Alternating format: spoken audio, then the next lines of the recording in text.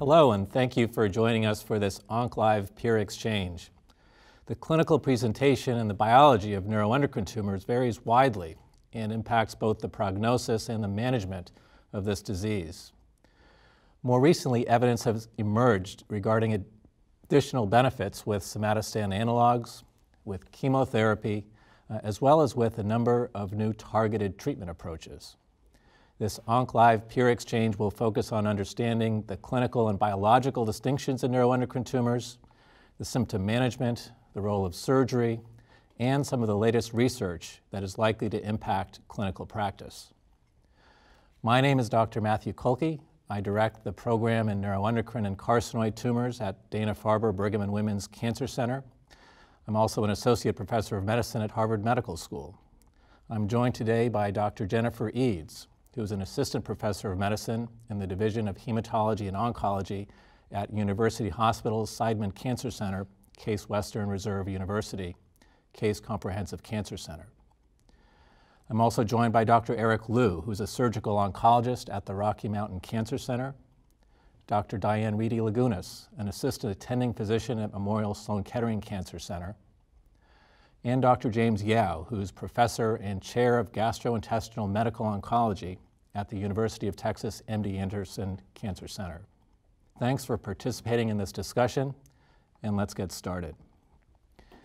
So my first question is going to go to Dr. Yao. James, you've been in this field for a while, and when we first started treating neuroendocrine tumors, we thought they were all the same disease. I think that understanding has changed over the years. Um, in your perspective, how has our understanding changed?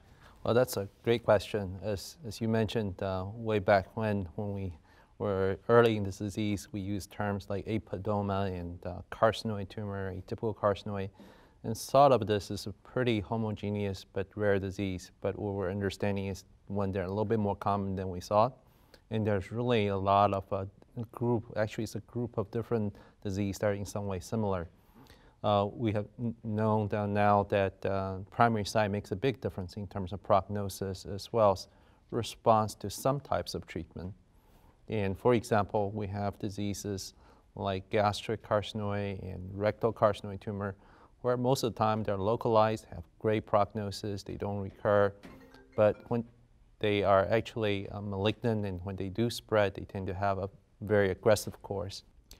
One of the you know, one of the biggest differences is if you just take a step back and, and think about what are called carcinoid tumors and pancreatic neuroendocrine tumors, they look identical under the microscope, but they've responded really differently to treatments. Absolutely. You know, with pancreatic neuroendocrine tumor, they tend to be much more responsive to cytotoxic chemotherapy. Uh, we also have phase three data for VEGF inhibitors such as sunitinib, a trial that you, know, you were very involved in uh, developing, a drug you were very involved in developing. And uh, we also understand, underlying some of these differences, uh, there are real differences in terms of molecular biology. For example, in pancreatic neuroendocrine tumors, you see a lot of somatic mutations in the MEN1 gene. Uh, along with that, we also see mutation in DAXX, uh, ATRX, and the mTOR pathway.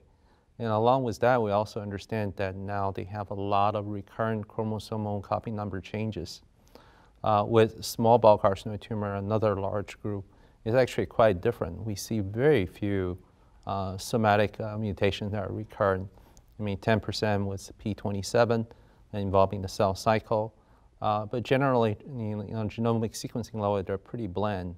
They do have recurrent copy number variations and loss of you know, one copy of chromosome 18. And uh, the value of that uh, in terms of prognostic features is still an area under investigation. There are some hints that that may be a prognostic uh, marker in this group of patients. But as, as I think we move forward, we're going to find more and more of these, uh, you know, molecular differences that drives the bi biology and clinical course difference that we see. And I, would, I guess I would add to that too, James, is as you said, you know, we sort of have the pancreatic neuroendocrine tumors that we say is a different entity, right? And then we have the so-called carcinoids. So we, we, for the last five to 10 years, have sort of lumped all, I guess, extra pancreatic neuroendocrine tumors into one lump sum of carcinoid. And as you're saying, um, that's probably not the right thing to do. And back in the olden days when we used to have the foregut, midgut, and hindgut, um, now as we're learning about the genetics, in fact, foregut may be different than the so-called midgut. So the lung, gastric, and pancreatic neuroendocrine tumors may have common genetic findings as well as clinical findings, right? Mm-hmm. So it's really interesting that we're sort of, in many ways, we're kind of going back to the old days nomenclature and thinking about genetically how these cancers may arise and um, not so necessarily lumping them together as all carcinoids.